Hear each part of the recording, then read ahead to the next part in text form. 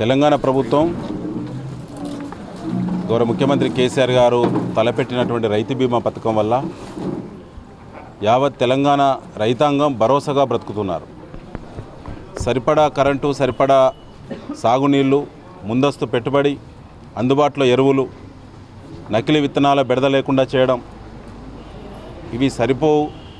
ఎవరైనా సన్న చిన్నకారు రైతులు దళిత గిరిజన బలహీన వర్గాల రైతులు అకాల మరణం పొందితే ఆ కుటుంబం ఛిద్రమైపోతుంది. దేశానికి అన్నం పెట్టి ఆత్మగౌరవంగా బ్రతికేటువంటి అత్యంత పవిత్ర మనసు గలటువంటి రైతులు చిట్ట చివరి టైంలో అకాల మరణం పొందితే వారి కుటుంబం మొత్తం కూడా వారిపై ఆధారపడేటువంటి కుటుంబం మొత్తం కూడా ఆ పిల్లలపైన చదువు భారం పడుతుంది కుటుంబం పైన. మరి భార్య పిల్లలు గౌరవంతో బ్రతకాలని రైతు బ్రతికినప్పుడు ఎంతైతే పవిత్ర లక్ష్యంతో గౌరవంతో బ్రతుకుతాడో యజమాని పోయిన తర్వాత కూడా ఆ కుటుంబం అంతే గౌరవంతో బ్రతకాలని చెప్పి ఐదు లక్షల రూపాయల ప్రమాద బీమా పథకాన్ని యావత్ ప్రపంచం మెచ్చుకునే విధంగా ఐక్యరాజ్య సమితి అభినంది అభినందించే విధంగా ఇవాళ పథకాన్ని తీసుకొచ్చారు. అందులో భాగంగా నరసంపేట నియోజకవర్గానికి ఇప్పటికీ పథకం ప్రారంభమైనటువంటి నాటి నుంచి ఇంతకుముందుకే రెండు వందల నలభై మూడు మందికి దాదాపు పన్నెండు కోట్ల పదిహేను లక్షల రూపాయలు వాళ్ళ ఆర్థిక భరోసా పైసా లంచం లేకుండా మీడియేటర్షిప్ లేకుండా ఇవాళ వ్యవసాయ శాఖ బ్రహ్మాండంగా పనిచేసి వారికి చెక్కులను అందుబాటులో తీసుకొచ్చి వారిని కాపాడడం జరిగింది. ఇవాళ ప్రత్యేకంగా ఇరవై ఎనిమిది మంది రైతులు అకార అకాల మరణం వివిధ కారణాల చేత అది యాక్సిడెంటల్ కావచ్చు లేదా వృత్తిరీత్యా బావుల దగ్గర పనిచేస్తున్నప్పుడు ఇతరతర కారణాల వల్ల చనిపోయినా అనారోగ్య కారణాలు చనిపోయినా కూడా ఏ కారణం మీద చనిపోయినా ఐదు లక్షల రూపాయల ప్రమాద బీమా పథకం ఇవాళ ఇరవై ఎనిమిది మంది రైతు కుటుంబాలకు తలా ఐదు లక్షల రూపాయల చొప్పున ఈరోజు కూడా కోటి నలభై లక్షల రూపాయల చెక్ల పంపిణీ చేయడం జరిగింది. ముఖ్యంగా ఇప్పటికీ దాదాపుగా పదమూడు కోట్ల యాభై ఐదు లక్షల రూపాయలు నర్సంపేట నియోజకవర్గంలో అకాల మరణం పొందినటువంటి రైతు కుటుంబాలకు ఎలాంటి లంచం లేకుండా పైరవి లేకుండా ఇవాళ వారిని ఆర్థిక భరోసా ఇచ్చి కేసీఆర్ గారు కాపాడుకోవడం జరిగింది. ఇంకా రైతుల్లో చైతన్యం రావాల్సిన అవసరం ఉన్నది. ఈ రీతిలో ప్రభుత్వం మొత్తం రైతాంగం చుట్టూ వ్యవసాయం చుట్టూ ఇవాళ పాలన చేస్తున్నటువంటి కేసీఆర్ గారు సరిపడా సాగునీళ్ళు ఇచ్చి ఇవాళ నడి ఎండాకాలంలో ఉగాది సమీపిస్తున్న సందర్భంగా చెరువులు మత్తలు గురు పడుతున్న విషయాన్ని సందర్భంగా గుర్తు చేస్తూ ఉన్నాను.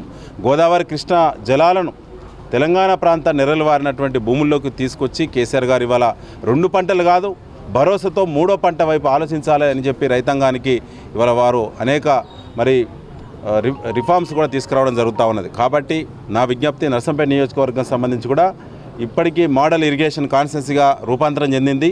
ప్రతి ఎకరాకు రెండు పంటలకు సరిపడా నీటి కల్పన ప్లానింగ్ పూర్తి చేసినాం.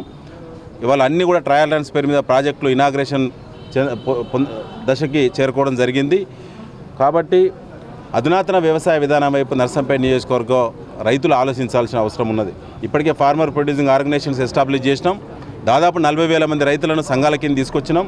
వారందరూ కూడా ప్రపంచంలో దేశంలో ఇతర రాష్ట్రాల్లో ఉండబడినటువంటి అధునాతన వ్యవసాయ టెక్నాలజీ యంత్రాలను వాడి ఒకటికి రెండు రేట్లు అదనపు పంట దిగుబడి పొంది పొందినటువంటి పంటను అదనపు ధరకు మార్కెటింగ్ చేసుకునే సంబంధించిన ఫుడ్ ప్రాసెసింగ్ పైన కూడా ఇప్పుడే రాబోయే పది సంవత్సరాల తర్వాత ఇరవై సంవత్సరాల తర్వాత నర్సంపేట నియోజకవర్గ వ్యవసాయం ఎలా ఉండాలి ఆర్థిక పరిపుష్టి పుష్టి రైతులకు కానీ రైతు కూలీలకు కానీ ఏ విధంగా జరగాలని చెప్పి ఇప్పటికే ప్రణాళిక చేసుకొని దాన్ని అనుసరించి ముందుకు పోతున్నటువంటి సందర్భంగా నాబార్డు జాతీయ వ్యవసాయ బ్యాంకు నర్సంపేట నియోజకవర్గం వైపు ఆలోచిస్తూ ఉన్నది. ఇక్కడ ఉన్నటువంటి నియోజకవర్గ వ్యవసాయ విధానాన్ని అడాప్ట్ చేసుకోవడానికి సంబంధించి నాబార్డు దాదాపు అంగీకార దశకు వచ్చింది. త్వరలోనే నాబార్డు చైర్మన్ పర్యటన నర్సంపేట నియోజకవర్గంలో ఉంటుంది.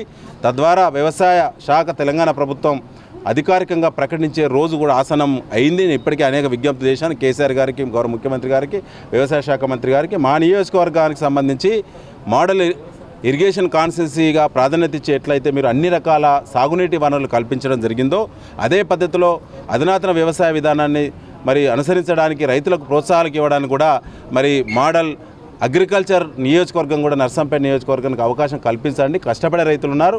రెండు పంటలు సమృద్ధిగా చేసేటువంటి రైతులు ఉన్నారు. కాబట్టి ఇజ్రాయెల్ గురించి మన మాట వినకముందే కుప్పం గురించి ఆనాటి నేతలు మాట్లాడకముందే నరసంపేట నియోజకవర్గంలో దాదాపు పదివేల ఎకరాల పైచిలుకు సొంత డబ్బులతో కేంద్రంలో కానీ రాష్ట్రంలో కానీ పథకాలు రానప్పుడు ఆలోచన కూడా లేనప్పుడు గత పాలకులకి సొంత డబ్బులతోటి డ్రిప్ ఇరిగేషన్ వైపు ఆలోచించినటువంటి మరి అడ్వాన్స్ ఆలోచనటువంటి రైతులు నరసంపేట నియోజకవర్గంలో కోకలుగా ఉన్నారు. కాబట్టే మోడల్ అగ్రికల్చర్ కాన్సెన్స్గా నర్సంపేటకు అవకాశం కల్పించాలి. రైతు ఆలోచించిన ప్రతి ఆలోచనకు పెట్టుబడి అనేటువంటి టెన్షన్ లేకుండా నాబార్డు మొత్తం అడాప్ట్ చేసుకోవాలి నర్సంపేట నియోజకవర్గం అనేటువంటి కలగంటున్నాం. అది నిజం కావడానికి కేసీఆర్ గారి ఆశీర్వాదం సంపూర్ణంగా ఉన్నది. భగవంతుడి ఆశీర్వాదం రైతుల ఆశీర్వాదం నిండుగా కలగాలని చెప్పి మరొకసారి తెలియజేస్తా ఉన్నాను.